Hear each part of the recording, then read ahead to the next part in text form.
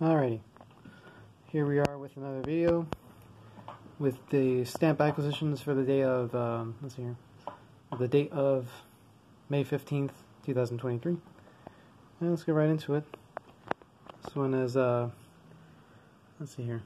Actually, you know what, let's mention this real quick. This is a, actually a weighing scale. It's pretty old.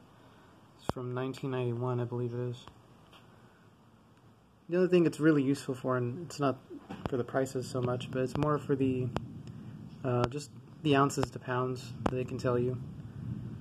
So you can just base that off accordingly, since uh, you know one one ounce is like what 63 cents that you'll have to pay in postage, which is usually covered by the first class forever stamp and all that.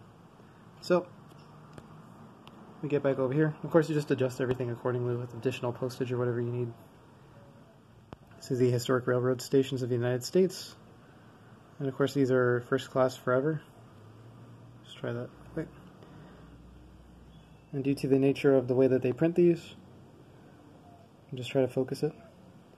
You can see we have uh, all these are the stamps right there. It's a sheet of 20. See if I can't cancel that out. There we are.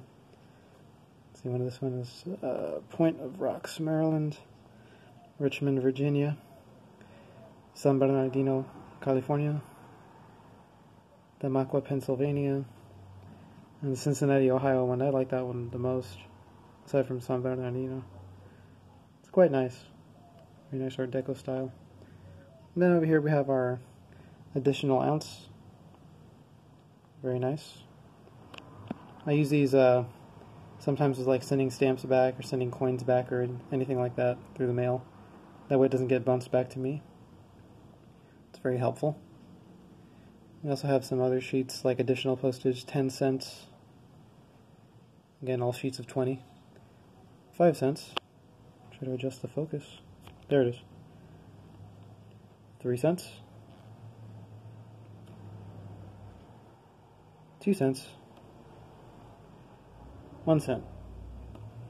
Postcard, which the current rate is 48 cents soon to be 51 cents July 9th.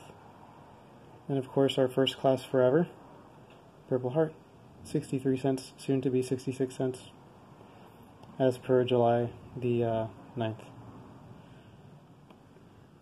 So these are all I've gotten through. Uh, I actually got this at the post office, this one, the railroad stations, but the rest of them I got on USPS.com.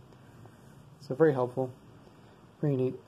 In fact, I actually sent a letter off about a few days ago using a postcard stamp and I just added about, you know, 15 cents just to make up for the 63. And they had no problem with that, which was real nice. So, those were acquisitions for the date of May the 15th, 2023. There will be another video probably maybe this month because I have more stamps that I've uh, acquired, but I haven't talked about these and I've had these for a while. So, until then, see you in the next one.